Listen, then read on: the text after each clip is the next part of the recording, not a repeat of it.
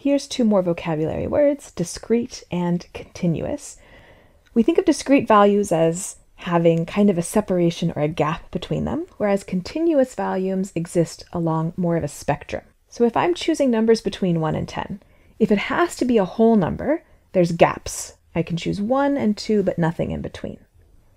On the other hand, if I can choose any number between 1 and 10, there are no, no gaps. I can choose 1 and 2 and every number in between. The top is what we call discrete. The bottom is what we call continuous.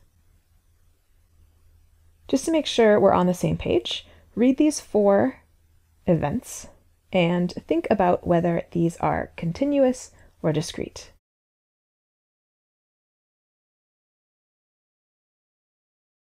Rolling dice, I can roll, okay, I can add them up and get three, I can add them up and get four, but I can't get anything in between. So that's discrete. Number of pets, I can have zero pets or one pet or two pets, but nothing between zero and one, nothing between one and two. So that's also discrete.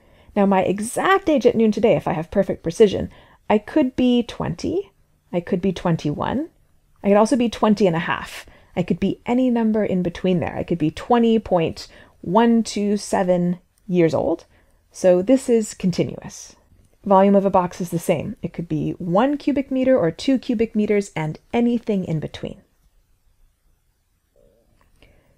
Now, formally in your syllabus, it's just talking about continuous events, but discrete events are often a bit more intuitive. We're going to talk about both, but we're mostly going to use the discrete events to build up intuition to make the continuous events make more sense.